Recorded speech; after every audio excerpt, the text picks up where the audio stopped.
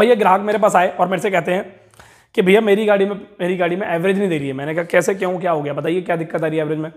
तो उन्होंने बोला, भैया, मैंने गाड़ी में सौ का पेट्रोल डलवाया मेरी गाड़ी सौ का, सौ रुपये की मतलब सौ किलोमीटर चली थी और उसके बाद कुछ दिनों बाद जब मैंने गाड़ी में 200 का पेट्रोल लवाया तो भैया डेढ़ सौ किलोमीटर चली थी।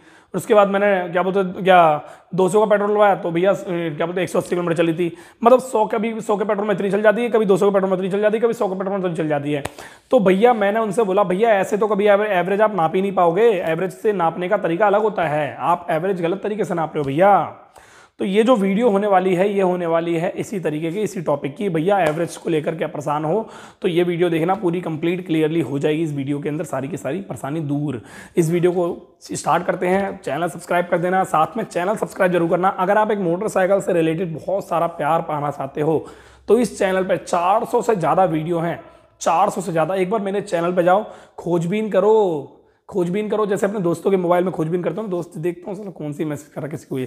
तो ऐसे करके बहुत सारी आपको वीडियो मिलेंगे बाइक से रिलेटेड नॉलेज वाली, बहुत सारी। और बहुत अच्छी अच्छी नॉलेज मैंने डाल रखी है। अभी हाल फ़िलहाल में केदारनाथ गया था, उसकी राइड भी करी थी स्कूटी से केदारनाथ गया था, आपके लिए यार, इतना ज़्यादा मेहनत लगी इसमें, मैं ये बता सकता हूँ। काफ़ी आपने प्यार भी दिया वीडियो कहीं और जा रही है, मैं जल्दी स्टार्ट करता हूँ वीडियो को, फटाफट से स्टार्ट करते हैं वीडियो तो भैया, सबसे पहले हम बताते हैं कि आपको एवरेज को चेक कैसे करना है, क्योंकि यार देखो मैकेनिक जो होता है ना जब आपकी गाड़ी में आप लेके जा रहे हो कंप्लेंट उसके पास या फिर आप लेके जा रहे हो परेशानी उसके पास तो आप बोलते हो, भैया, मेरी गाड़ी में एवरेज नहीं दे रही। तो सबसे पहले मैकेनिक प्लग खोल के देखता है। स्पार्क प्लग खोलने के बाद वो बताता है, वो जस्टिफाई करता है कि हाँ इसकी एवरेज वाकई में कम है या इसकी एवरेज है ही नहीं। तो आपको मैं बता देता हूँ छोटे छोटे चार पाँच टॉपिक जो आपके बहुत काम आएँगे और आप समझ सकते हो कि आपकी गाड़ी की एवरेज है या नहीं है। देखो, सबसे पहला टॉपिक तो ये है, आपको एक तस्वीर दिखाई दे रही होगी इधर, दिख रही है?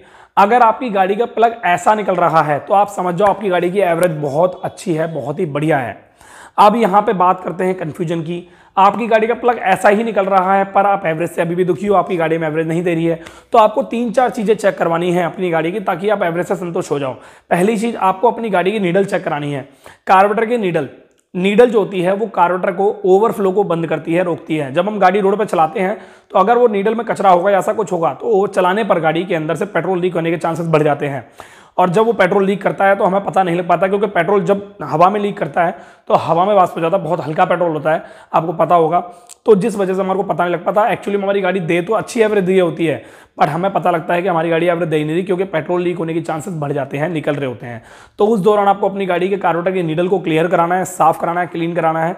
दूसरी चीज़, अगर आपकी गाड़ी में पेट्रोल ढक्कन ऊपर है, और उस पेट्रोल ढक्कन के ऊपर साइड साइड में पीलापन आ रखा है, पीलापन।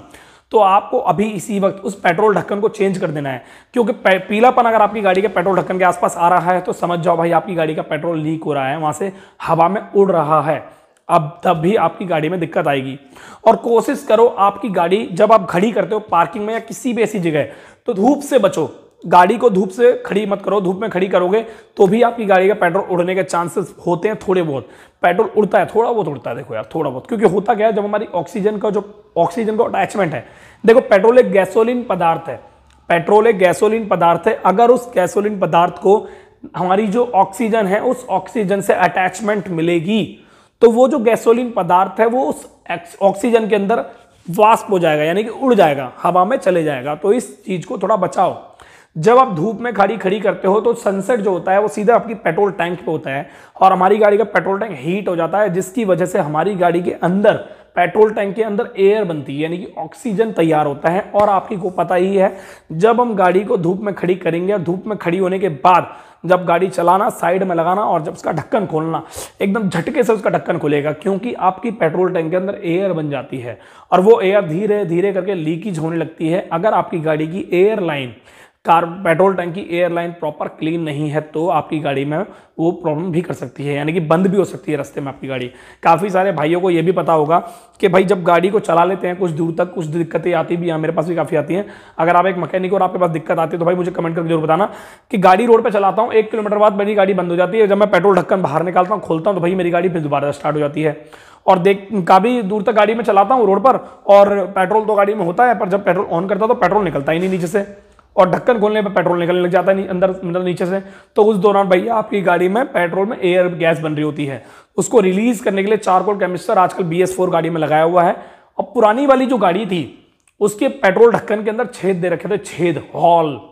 अगर आपके पास पुरानी गाड़ी है और आपकी पेट्रोल ढक्कन के साइड साइड में पीला पना रखा है येलो सेड आ रखी है तो समझ जाओ भैया, आपकी गाड़ी का जो पेट्रोल ढक्कन है, वो खराब हो गया है, वहाँ से पेट्रोल लीकेज कर रहा है तो भी आपकी गाड़ी में दिक्कत आती है। तो भाई ये होते हैं तरीके कुछ ऐसे जो आपके बहुत काम आते हैं। अगर आपकी गाड़ी में एयर फ़िल्टर में पेट्रोल आ रहा है तो आपकी गाड़ी की कार्बोरेटर की ट्यूनिंग होगी टैपेट की सेटिंग होगी और आपकी गाड़ी का जो सैलेंसर है, वो प्रॉपर खुला हुआ है या नहीं खुला हुआ है प्रॉपर ये चीज़ चेक करनी पड़ेगी। उसके अलावा मेन इंपॉर्टेंट चीज़ सीओ लेवल की सेटिंग होगी। अगर आपकी गाड़ी में जो कार्बोरेटर की स्लाइड होती है कार्बोरेटर की स्लाइड अगर वो कट गई है तो भी आपकी गाड़ी में फ़िल्टर के अंदर पेट्रोल आ सकता है। अगर आपकी गाड़ी का साइड स्टैंड ज़्यादा डाउन है, ज़्यादा झुक रहा है तो भी आपकी गाड़ी के कार्बोरेटर से पेट्रोल होता हुआ फ़िल्टर में आ सकता है। ये चीज़ आपको ध्यान रखनी है। बहुत ज़्यादा काम आने वाली बातें बता रहा हूँ आपको। अभी इसी वक्त सोचो मत, वीडियो तो देख रहे हो यार। चैनल सब्सक्राइब तो कर लो कम से कम। इतना तो कर ही सकते हो यार। एक चैनल सब्सक्राइब करना यार। और एक छोटा सा लाइक का, छोटा सा थम मारा होगा ऐसे करके। इस पर क्लिक कर देना। टन, ये कर देना, ठीक है? उसके अलावा अगर बात की जाए, इन सब चीज़ों को छोड़कर, ये तो होती है आपको चेक करने वाली चीज़। अगर आपकी गाड़ी का प्लग सफ़ेद निकल रहा है मतलब बढ़िया निकल रहा है तो ये सब चीज़ें चेक करनी है। क्योंकि उस दौरान आपकी गाड़ी की इंजन की ट्यूनिंग तो ठीक है, बट आपकी गाड़ी का जो प्लग है, वो मतलब वो जो एवरेज है वो कम निकल रही है, सही नहीं आ रही है, ठीक है? अब यहाँ बात करते हैं आपकी गाड़ी की एवरेज को और डिफाइन कैसे करोगे? ये चीज़ बता दो। अगर मान के चलो आपकी गाड़ी का प्लग ऐसा निकल रहा है,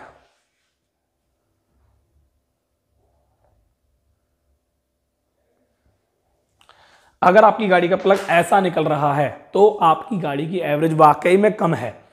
एकदम काला एकदम काला निकल रहा है, एकदम काला निकल रहा है। भाई देखो, दो प्रकार के काला होता है गाड़ी का प्लग अगर सूखा काला है, सूखा काला है प्लग है, एकदम सूखा है और काला हो रखा है तो आपकी गाड़ी की ट्यूनिंग आउट है।